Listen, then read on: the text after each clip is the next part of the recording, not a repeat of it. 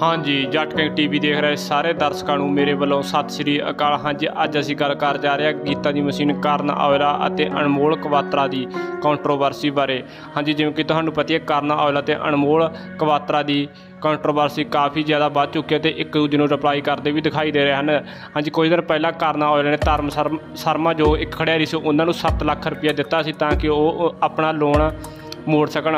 ਹਾਂਜੀ, ਇਸ ਤੋਂ ਬਾਅਦ ਲੋਕਾਂ ਨੇ ਅਨਮੋਲ ਕਵਾਤਰਾ ਨੂੰ ਟੈਗ ਕਰਕੇ ਪਾਇਆ ਵੀ ਤੁਸੀਂ ਵੀ ਇਹਨਾਂ ਖਿਡਾਰੀ ਦੀ ਮਦਦ ਕਰ ਸਕਦੇ ਹੋ। ਤੇ ਉਹਨਾਂ ਨੇ ਕਿਹਾ ਵੀ ਕਰ ਤਾਂ ਸਕਦੇ ਆ ਪਰ ਸਾਨੂੰ ਜੂਆ ਪ੍ਰਮੋਟ ਕਰਨ ਦੀ ਲੋੜ ਨਹੀਂ, ਕਿਉਂਕਿ ਕਰਨ ਔਜਲਾ ਕੁਝ ਕੁ ਐਡ ਕਰਦੇ ਹਨ, ਜਿਸ ਤੇ ਕਿਹਾ ਜਾ ਰਿਹਾ ਕਿ ਉਹ ਜੂਏ ਦੇ ਐਡ ਹਨ। ਇਸ ਤੋਂ ਬਾਅਦ ਇਹਨਾਂ ਦੋਨਾਂ ਦੇ ਆਪਸ ਵਿੱਚ ਇੱਕ ਦੂਜੇ ਨੂੰ ਰਿਪਲਾਈ ਕਰਨੇ ਸ਼ੁਰੂ ਕਰ ਦਿੱਤੇ।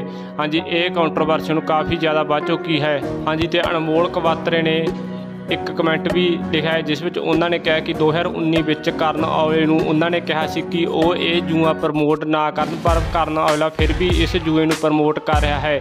ਤਾਂ ਕਰਕੇ ਉਹ ਹੁਣ ਕਰਨ ਔਜਲੇ ਦੀ ਸਪੋਰਟ ਬਿਲਕੁਲ ਨਹੀਂ ਕਰਦੇ ਹਨ। ਇਸ ਤੋਂ ਬਾਅਦ ਲਾਸਟ ਵਿੱਚ ਕਰਨ ਔਜਲੇ ਨੇ ਇੱਕ ਫੈਨ ਨੂੰ ਰਿਪਲਾਈ ਕਰਦੇ ਹੋਏ ਕਿਹਾ ਕਿ ਬੋਲੀ ਜਾਣ ਦੇ।